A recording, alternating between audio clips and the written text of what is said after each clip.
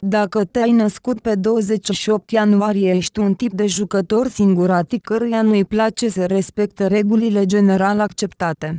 Înflorim de entuziasm, ești un adevărat aventurier. În plus față de energia fizică și mentală incredibilă, ești înzestrată cu hotărâre și cu o perspectivă pozitivă asupra vieții. Dorești ce este mai bine pentru toți oamenii și ești dispusă să-i ajuți dacă este necesar. Spre deosebire de ceilalți vărsători care preferă să observe viața de la distanță, dacă din punctul tău de vedere merită să lupți pentru ea, ești gata să te lupți. Tu ești capabilă de lucruri minunate, dar ai nevoie nu doar de determinare, ci și de puterea fizică.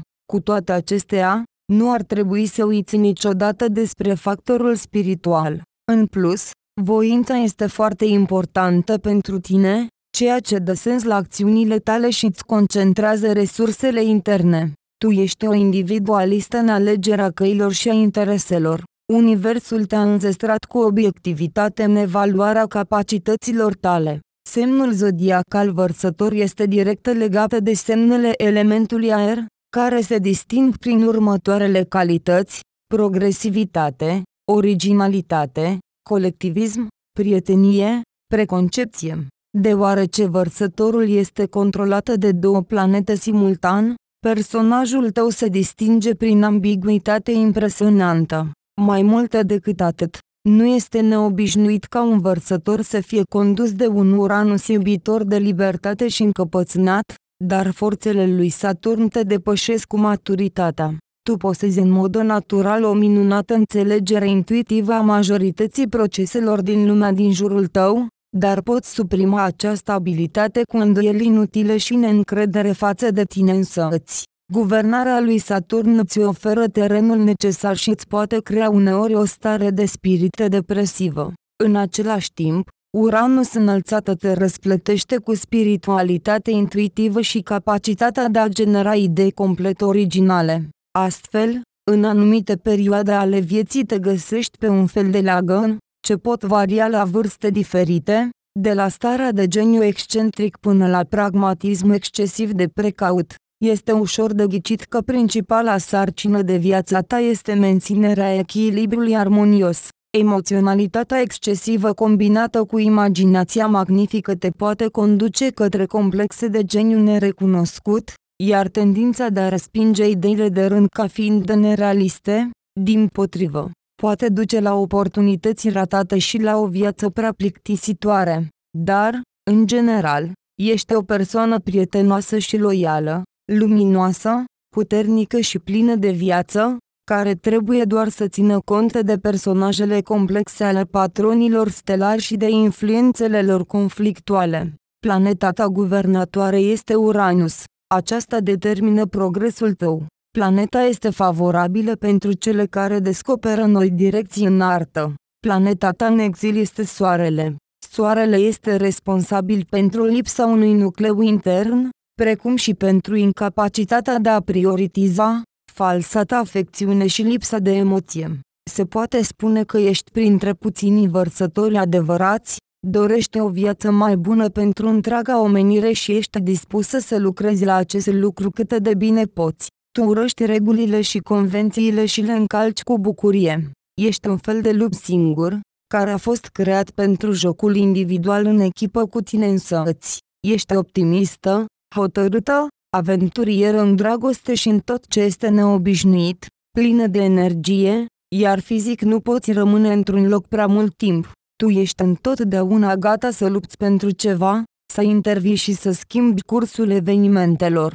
Ești în felul tău o luptătoare. În ciuda faptului că poți părea încrezătoare și fără teamă de pericol, îți controlezi întotdeauna acțiunile. Desigur că nu există pădure fără uscături, de aceea, în unele cazuri poți fi urmărite de ghinion, o supraevaluare clară a propriei tale puteri, mândrie pronunțată și vanitate.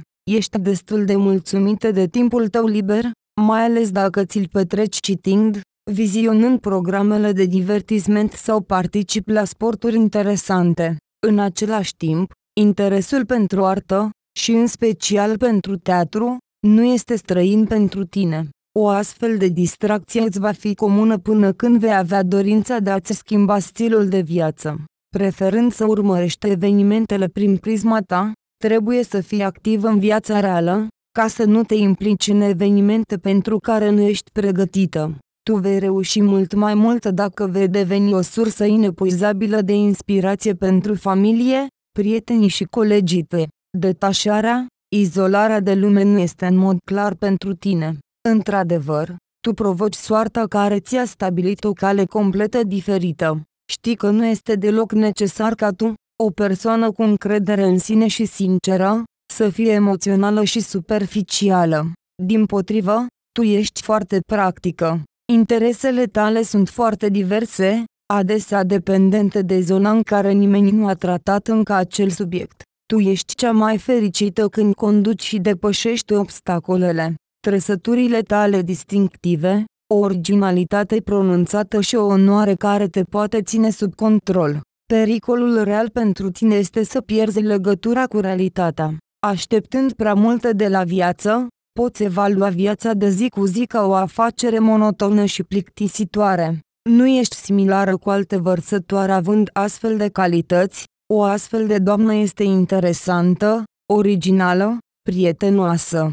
Activitatea ta mentală este vulcanică. Educația ți-a fost oferită cu ușurință, iar orice informație primită o prelucrezi. Tu ai o dezvoltare complexă și aspiri la orice vârstă la cunoașterea lumii, dar deseori o idealizezi. În rare cazuri, te îndrepți spre trecut, viziunea ta este, de obicei, direcționată către un viitor care te interesează mai mult, prețuind de asemenea libertatea. Cum afectează data de 28 ianuarie soarta ta? Ai o voință puternică. Persistența ta de spirit și tăria de caracter nu poate fi decât invidiată. Tu nu te bazezi pe alții, ești obișnuită să rezolvi totul în afacerile tale. Autosuficiența te face independentă, îți dă încredere în propriile tale abilități. Un astfel de setă de calități îți aduce rivali periculoși, pentru că în realitate ești nemiloasă. Tu nu te vei compromite niciodată, nu îți pasă de interesele altora. Ai un caracter agitat și un temperament greu de suportat de către mulți dintre cei din jur. În dialog, nu vei recunoaște niciodată că ești în neregulă, chiar dacă este evident. Tu insisti singură inventând de tot felul de argumente. Un astfel de stil de viață îți poate promite singurătate și respingere. Oamenii nu tolerează lipsa de respect și neglijarea. Constelația vărsătorului îți întărește obsesia despre tine însăți. Poți fi narcisistă și egoistă, obsedată de propriul profit și de îmbogățire. Pentru a-ți atinge scopul, tu nu eziți să recurgi la cele mai neortodoxe metode. Reticența de a face concesii și de a recunoaște opinia altcuiva îți complică foarte mult relația cu societatea înconjurătoare. În dorința de a-ți dovedi unicitatea și autosuficiența uiți de toate calitățile tale pozitive, permițând negativului să iasă la iveală. Tu nu ești predispus a lupta cu partea ta proastă, ceea ce poate duce la singurătatea ta totală. Prin principiile tale, vei putea dobândi cu greu prieteni loiali și, într-adevăr, puțini oameni vor putea să-ți îndure temperamentul. Prin urmare, toate adversitățile și necazurile tale vor trebui să se întâlnească în singurătatea ta mândră. La urma urmei, miezul tău interior și vitalitatea te vor ajuta să supraviețuiești în orice situație dificilă. Inventivitatea și dorința de a câștiga te vor ajuta la depășirea tuturor obstacolelor dificile. Deci, chiar dacă ești suficient de puternică pentru a face față tuturor vicisitudinilor vieții, trebuie să lucrezi în continuare asupra ta și să găsești niște prieteni credincioși. La urma urmei, împreună cu ei îți va fi mult mai ușor. Ai o bună capacitate de învățare, o minte extraordinară și un intelect sclipitor. Erudiția ta te ajută nu numai la locul de muncă, ci și în comunicare. Ești predispusă la creativitate, natura ta extraordinară și originală încearcă să creeze ceva spiritual și frumos. Ești permanent în căutare de noi aventuri, ești foarte atentă, pentru că deschizi noi orizonturi. Ești capabilă să vezi frumosul în detalii. Uneori cauți tu însă singurătatea pentru a-ți explora lumea interioară. Tu atragi de energia și forța naturii și a lucrurilor din jur.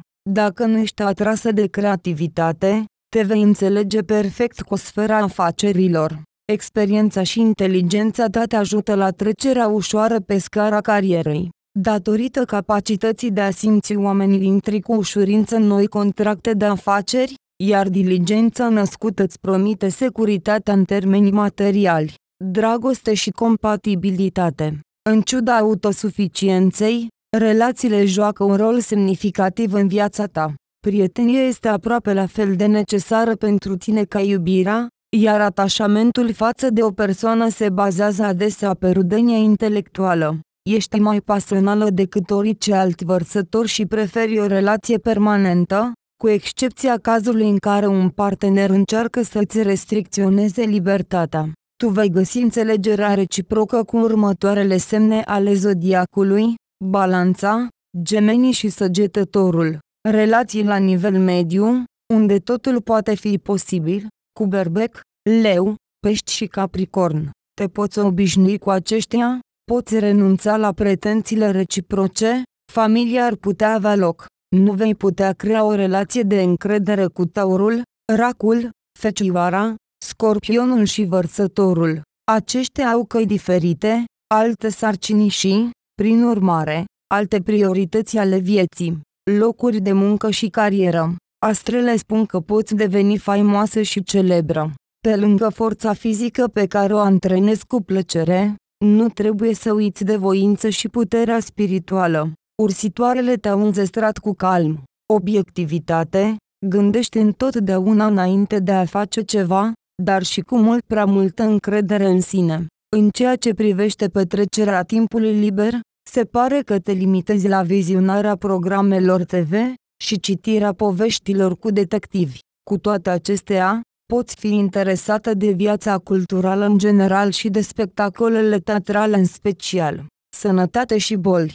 Fiind foarte emoțională și impetuoasă, locul tău vulnerabil este sistemul nervos. Ești predispusă la afecțiuni nervoase sistemice. Pentru a evita acest lucru, trebuie să-i cultivi reținerea și calmul. Și pentru asta ai nevoie de activitate fizică, yoga, meditație. Problemele cu sistemul nervos se pot manifesta până când îți vei pacifica natura emoțională. Pentru a promova dezvoltarea voinței și a autocontrolului, este foarte important să practici discipline spirituale. Deseori poți fi ghinionistă, mai ales în momentele în care energia ta turbulentă este în afara controlului. Trebuie să-ți controlezi emoțiile turbulente. Este de dorit ca cineva dintre cei dragi, iubitul sau prietenul tău să aibă un temperament calm și flegmatic, să stea ferm pe pământ, să aibă o experiență bună în practică și să te poată influența în consecință.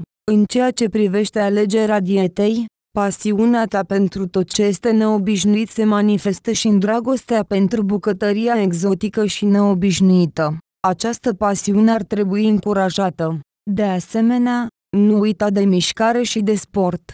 Soarta și norocul. Tu ai o natură voioasă, ambițioasă și intenționată. Stai ferm în picioare. Ai întotdeauna propria ta părere, îți place la nebunie să argumentezi, să-ți dovedești rațiunea, logica sau impresiile și în același timp nu asculți prea mult opiniile altora. Îți urmărești numai propriile tale interese, fără a acorda atenție altora. În acest sens, poți avea relații tensionate. În viața ta, va trebui să realizezi totul cu munca ta, deoarece nu vei putea să te bazezi pe sprijinul din afară. În viața de familie, de obicei nefericită, poate că vor exista mai multe căsătorii. În sfera financiară, totul depinde de capacitatea ta de a câștiga bani și de capacitatea de a-i păstra.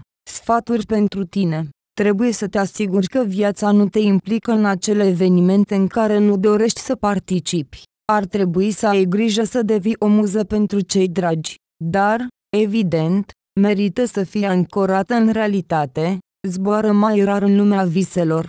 Ești destul de precaută și atentă. Principalul lucru pentru tine este să găsești afacerea interesantă pentru tine. Pentru a-ți construi o carieră strălucitoare, trebuie să acționezi mai îndrăzneț și, mai des să-ți asumi riscuri. Se poate întâmpla să te concentrezi asupra unei zone de activitate extrem de nepopulară. Aceasta te poate face fericite să depășești dificultățile. Trebuie să te temi de pierderea conexiunii tale cu viața reală. Dacă tu decizi că viața de zi cu zi este prea plină de rutină, plictisitoare și monotonă, o poți schimba pentru lumea viselor și a ideilor. Încearcă să fii mai calmă, răbdătoare, evaluează obiectiv capacitățile tale. Gândește de trei ori înainte de a acționa. Ce cadouri ți se potrivesc? Este o plăcere să alegi un cadou pentru o persoană ca tine, dacă ești, desigur, o persoană care nu este privată de simțul umorului. Cu cât un cadou este mai original și mai neașteptat, cu atât vei fi mai bucuroasă. Chiar dacă primești ceva prozaic, designul nemenajat și prezentarea cu un subînțeles te va atrage.